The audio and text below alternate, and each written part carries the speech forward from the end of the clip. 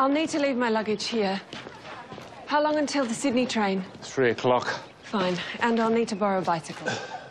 Bike. Couldn't say where you'd find one around here. I saw one out the front. Yeah, that's mine.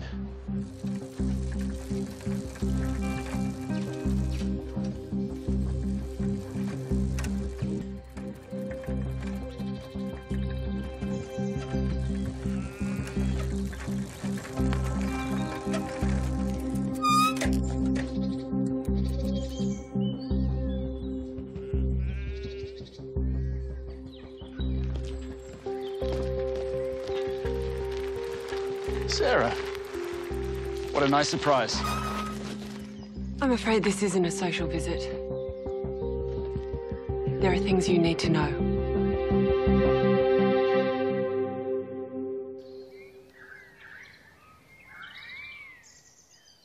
We'll be private in here. Thank you.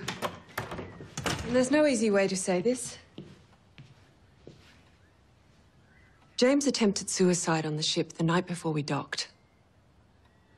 No. Yes. Oh. Why? I have no idea. It was me who stopped him. And you only tell me now? James swore me to silence. He preferred your mother handle the situation. My mother knows? Just her and I. Which I believe is why she's made such a point of keeping me out of your lives. Something she's finally succeeded in doing. I'm leaving. Leave? Why? Ask your mother, that's not why I'm here. I'm here for James. I kept silent because she said she had his best interest at heart. I no longer believe that. He says he's fine. But watch him. I'm not convinced.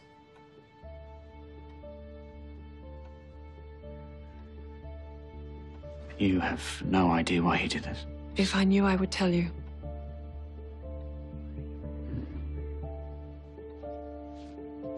I won't forget your kindness, George. Can't I? I need a place to rest. Not more battles.